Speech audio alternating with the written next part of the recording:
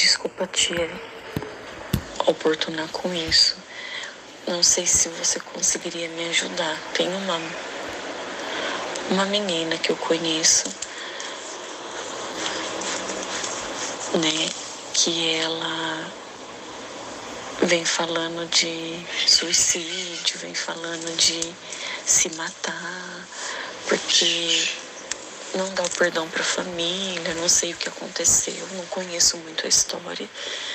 E ela passou uns 15, 20 dias bem. E agora ela tá falando que Deus esqueceu ela aquela, aquela desculpa, né? E já tá passando por psicólogo, psiquiatra aqui em Marília. Nunca acabou ficou camuflado, então voltou o índice de suicídio, né? Não sei se foi antes da pandemia, acho que foi antes da pandemia.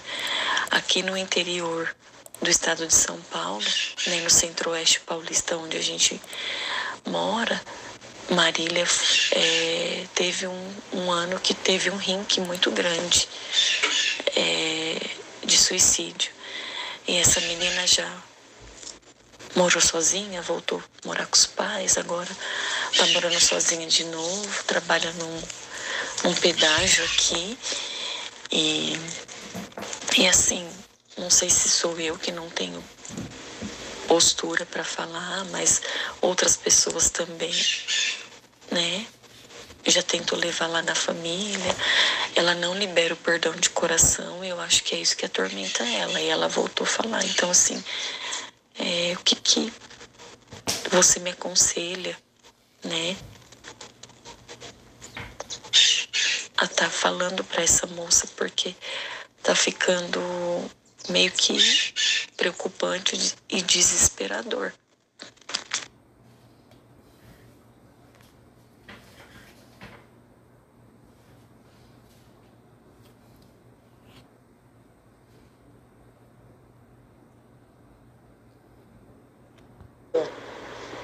E aí ela, o perdão é ela.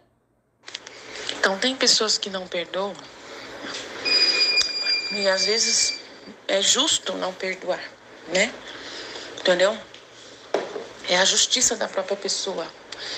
É, então, assim, tem que tentar entender o que que essa pessoa sabe. Porque a pessoa, enquanto ela tem uma justiça e ela não consegue perdoar, ela, e ela não está liberando perdão, é porque falta informação. Falta aí informação. E aí a pessoa precisa entender, por exemplo, o filme da cabana. Assiste o filme da cabana pra você ver.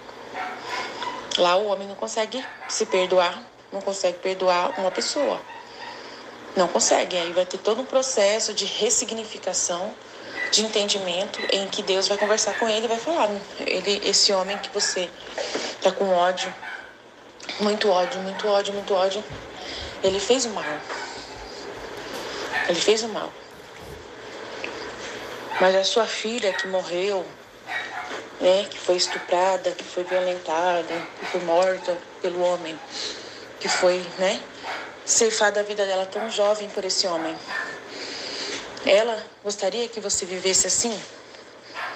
Bom, tem toda uma, uma realidade, né? Então a pessoa, aí nessa, nesse vídeo da alma, eu falo sobre a, o mal, como nasceu o mal. E falo sobre o problema que o mal se tornou. E a gente tem que assumir essa realidade. De que não tem como correr, nem para onde correr dessa realidade do mal. Então, se a pessoa viveu dentro de uma família e ela foi vítima do mal dentro da própria família e ela não aceita isso, de jeito nenhum, ela acha que deveria ter sido tratada diferente pelas pessoas que dizem que ama ela. E foi ela, e ela foi tratada mal e ela por isso ela ela acha justo não perdoar. Que esse que dar o perdão é dizer para as pessoas que vocês estão certas por terem feito isso comigo. E é complicado. E aí essa pessoa toda vez que vai falar com ela, as pessoas chegam lá obrigando ela a, a perdoar sem ela entender, por, né? sem ela é, mudar isso dentro dela, não tem como. Aí as pessoas estão dizendo para ela que ela é má. Estão dizendo, falando que a culpa é dela, de tudo que aconteceu, que não foi o mal que fizeram a ela, mas estão jogando na cara dela que ela que é ruim, que ela que não, não perdoa, que ela que não sei o que lá. E ela não entende o que, que é perdoar, que é mais se libertar, né? Se libertar do que libertar o outro. Tem gente que acha que ela vai absolver as pessoas. Entendeu? Ela não consegue, jovens, principalmente jovens, adolescentes, não conseguem ter uma cabeça que chega nessa maturidade de entender que o perdão é liberar a si mesmo e não liber, absolver uma pessoa. O perdão não é dizer para a pessoa, ah, você está certo em tudo que você fez. É, essa pessoa não pensa desse jeito. O jovem, ele não pensa assim, porque ele, a mente dele não tem as informações, não tem as experiências, não tem o entendimento. Você vai só ter que ajudar isso, mas aí é muito complicado você chegar lá e falar as mesmas coisas que todo mundo já fala para ela. Você tá errada, você tá errada, você tá errada. E aí ela quer se matar, porque ela tá errada. O mundo é uma merda, porque ela acha que tá certa, ela tá certa. Se fizeram mal para ela, se ela, né, se for injusto com ela, fizeram mal para ela, trataram ela mal, ela não foi feliz. Dentro da própria família, não foi amada, ela tá certíssima no que ela tá fazendo de queixa. Mas só que ela tem que entender que aquela pessoa que fez esse mal para ela é uma pessoa que precisa de ajuda também. Que não quer dizer que essa pessoa ela é perfeita por ter feito mal para ela e ela vai absolver essa pessoa. Então é muito delicado, né? Então tem toda uma realidade. Então precisa, se você vai ajudar as pessoas, você vai ter que ouvir, ouvir, ouvir tudo, tudo, tudo, deixar ela né, desabafar tudo de novo, todas as vezes que ela, as coisas que ela já desabafou, desabafar de novo para você. E daí depois que ela desabafar, você, né, ter esse entendimento de falar para ela, ó, você tá plenamente certa. Né? Tem que falar para você, tá certíssima no que você falou. Eu entendi tudo que você falou. Realmente, essa pessoa fez uma coisa realmente muito ruim mesmo. Né? E olha, e não adianta falar, causa um mal-estar na pessoa, no jovem principalmente. Ele não quer saber da sua vida, não quer saber o que você teve de experiência. Ele não está aberto nesse momento.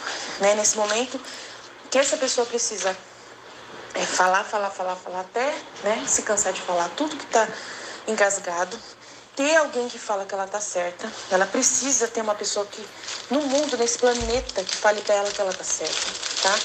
E ela vai estar tá certa se ela se realmente ela ela viu uma injustiça. Você tem que tem que entender que ela tem liberdade de, de entender que a, a injustiça é real, de que essa injustiça que ela viveu, que isso você tem que falar para ela assim: eu entendo plenamente o que você tá, o que você sentiu. E você não é uma pessoa deturpada por causa disso. É o seu universo, é a vida que você conhece, é o que você sabe, foi o que você aprendeu. Entendeu? Eu aprendi outra coisa, o outro aprendeu outra coisa, e o que você aprendeu, né, na sua ótica, tá tudo errado. A sua família fez algo muito grave e é grave mesmo. Então, vamos denunciar? Vamos lá denunciar? Dá voz a essa pessoa. Fala para ela, vai, vamos lá denunciar. Vamos na polícia, vamos numa, numa assistência social, vamos na delegacia da mulher, vamos na, no conselho do, do, do, do jovem lá.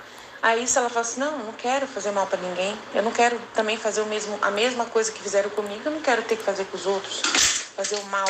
Então, entendeu? Aí ela vai pensar e avaliar, daí você vai começar a conhecer a pessoa. E aí você vai começar a conhecer a pessoa e ver se é que tipo de caráter que ela tem, se ela é uma pessoa boa, né? Você, entendeu? Então, às vezes, o trabalho que precisa ser feito é bem delicado de, de compreensão de tudo que está acontecendo. Tem, assim, se a gente chegar já falando para a pessoa, ah, você está totalmente errado, você é um, né? Nossa, você está possuída pelo demônio, você é um monstro, você é não sei o que lá você deve perdoar, você não sei o que lá. Ficar jogando tudo o peso nas costas de uma pessoa que está sofrendo, o peso tudo nas costas dela, é muito, nossa, muita injustiça. Tem muitos jovens que têm tem motivo de estar tá sentindo o que está sentindo, mas ninguém ouve eles, ninguém ouve. Ninguém considera o que eles dizem. E não é você passando a mão na cabeça, isso não é amor satânico. Isso é um processo que você está né, começando né, a conversar com essa pessoa e ver o universo que ela está, entrando no universo dela, entrando na cabecinha dela. E aí você ser essa amiga que vai orientar, que vai né, ter essa luz de Deus aos poucos, né, explicando sobre, sobre essa realidade, pouco a pouco, na brecha que encontrar. E dizendo assim, você está certa, e que bom que você não quer prejudicar então. Que bom que você não quer ir na delegacia denunciar. Que bom que você prefere ficar na sua, né? Mas assim, não é o que não pode acontecer, que eu vim aqui para te ajudar, é que não pode acontecer de você se destruir por causa disso. É aí que vai morar o perdão. É quando aí que vai morar o perdão. O perdão é justamente a pessoa não se destruir por esse sentimento de raiva e de ódio. Dela, né, entender que ela ela não vai ter que absolver, ela não precisa olhar na cara das pessoas, ela não precisa né, voltar na casa da mãe, do pai e falar assim: eu amo vocês. Não precisa nada disso, porque isso não é verdade, não adianta forçar a natureza da pessoa. Ela ama, e é por causa dela amar que ela está sofrendo tanto. Então, isso é fato, ponto final. Mas você não vai falar para ela que ela não ama, você não vai falar para ela a mentira, porque vai ser mentira. Não quer dizer que o ato de não perdoar é que ela não ama a família. Não é isso. Então tem todo um elemento, hein? você vai chegar nessa pessoa e você vai falar para ela assim, você não, você não pode se destruir por causa disso. Você tem que se levantar, né? E deixa eles lá. Eles têm a liberdade deles, eles têm, né? Ah, mas o que, que eu faço com eles e como que fica? Deixa nas mãos de Deus. Deus, né? Eles estão vivendo a vida deles e todo mundo tem as suas, né? Tem as suas debilidades. Todo mundo tem os defeitos. Você tem o seu, eu tenho o meu. E a gente deixa as pessoas com os defeitos dela, mas a gente não precisa dizer para elas: eu amo você, você é linda, maravilhosa. Não, a gente deixa a pessoa seguir na vida dela. Você não precisa fazer nada. Ninguém não, é, não precisa fazer nada. A única coisa é não se destruir por causa disso.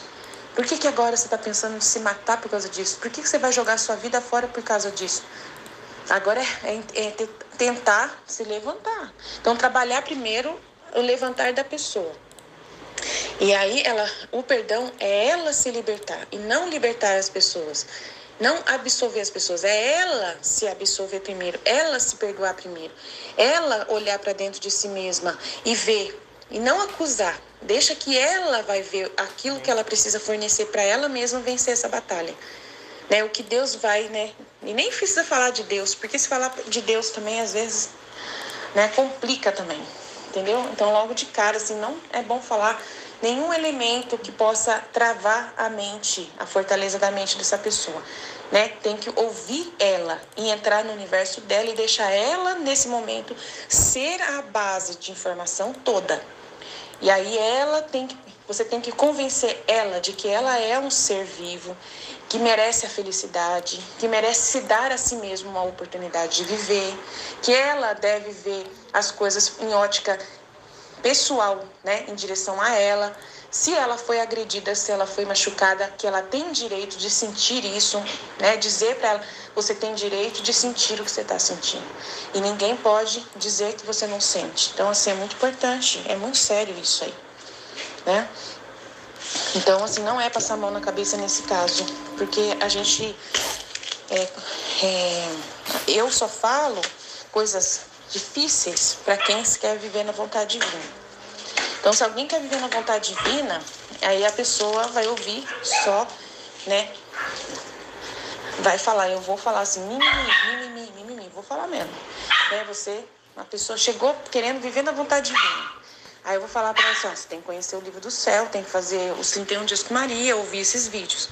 Eu só faço isso. Eu não vou atender ninguém nessa questão com esse tipo de entendimento, com esse tipo de problema. Então, por isso que para uma pessoa que está tentando suicídio, eu vou para a humanidade, eu vou para o atendimento humano, 100 mil por cento humano. Como Jesus orienta para que possa resolver esse problema no humano. Né? O espiritual está me iluminando para que eu consiga resolver primeiro a base de informação humana dessa pessoa. Ela é inteligente, ela tem uma alma lá dentro do corpo dela, eu sei que ela tem memória, inteligência e vontade. Eu tenho que dar dignidade a ela, respeitar a sua, a sua, a sua liberdade, tenho que respeitar a sua dignidade de pessoa. Então, primeira coisa é isso. Depois é que você pode acrescentar elementos de adeus, de Deus, mais para frente, à medida que tem abertura, se ela tocar no assunto você pode né, falar uma coisa ou outra, mas sem dar tanta conotação, sem elevar Deus demais, sem querer enfiar goela abaixo sobre Deus, para ela a religião logo de cara vai dar problema. Então não sei se você vai entender tudo que eu estou querendo falar. Então é complicado, né? Tem, é, né? Tem coisas que Jesus dá a luz para mim. E aí, à medida que for acontecendo as coisas, você me pede mais luzes que eu vou dando, entendeu? É assim.